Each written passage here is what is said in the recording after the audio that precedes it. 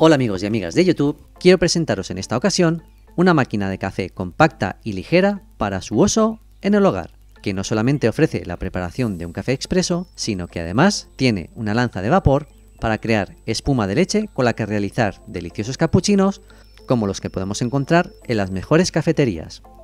Y al abrir la tapa, aparece el manual de instrucciones, que siempre es recomendable su lectura antes del primer uso y funcionamiento, envuelto en un plástico, tenemos el brazo portafiltros y en el interior de este, el filtro donde deberemos introducir el café molido. Las medidas que lleva impresas este filtro es una referencia para la preparación de hasta 4 cafés cortos o dos largos en cada carga. Podemos ver en el interior de la caja la máquina de café, que es la que vamos a extraer a continuación.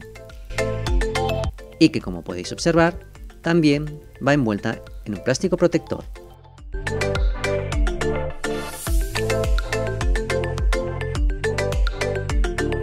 El diseño que ofrece es elegante y a la vez con un toque retro. La primera impresión es que los acabados parecen de buena calidad. Está fabricado en plástico y metal pulido.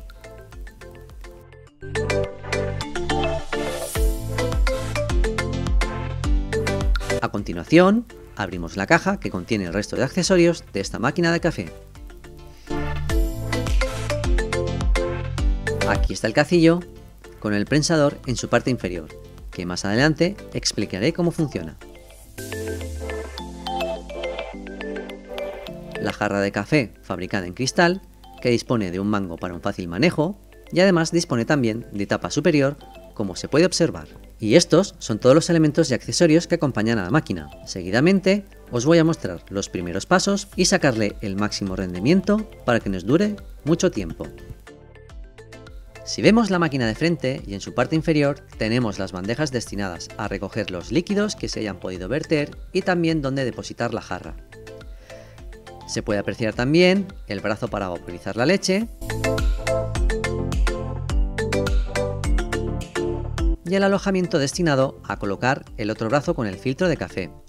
Y por último, un esquema con las indicaciones de cómo colocar el brazo correctamente.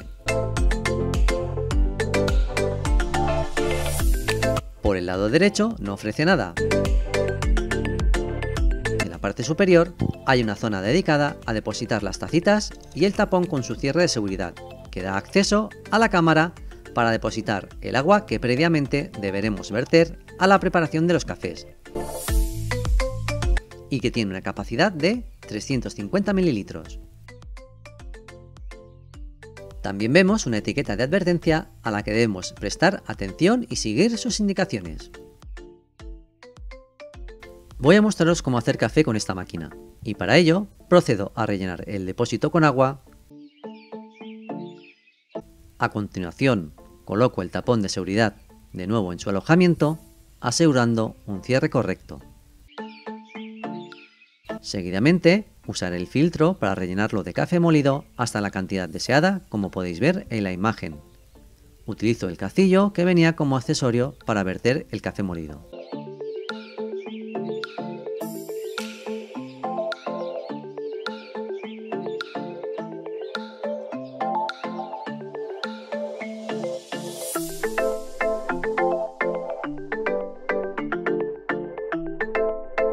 Una vez hecho esto, uso el prensor del cacillo solamente para igualar el café y aplastarlo ligeramente.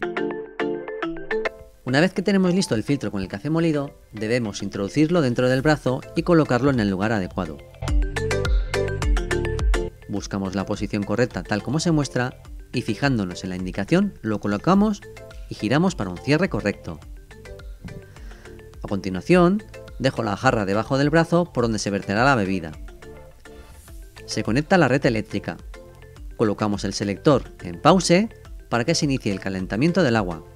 Después pasamos al icono de la taza de café y ya es cuando el agua caliente pasa por el filtro arrastrando los sabores, aromas y color del café. Como habréis observado, no he comentado que esta máquina ofrezca café expreso. Trabaja a 3,5 bares de presión. Para el café expreso se necesita trabajar a 9 bares de presión, ni más ni menos, pero sí es suficiente para vaporizar leche o calentar agua para la realización de infusiones.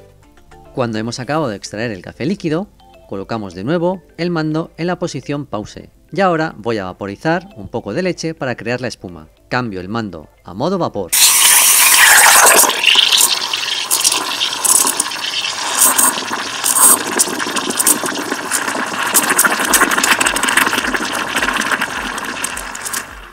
Es un proceso que tarda en hacerse en muy pocos segundos.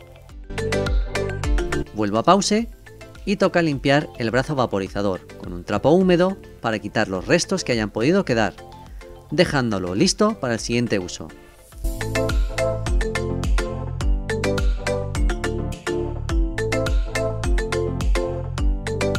Al acabar, coloco el mando en posición off y se abre una válvula que descarga toda la presión acumulada, para después quitar el brazo con el filtro de café y desechar los restos de los pozos.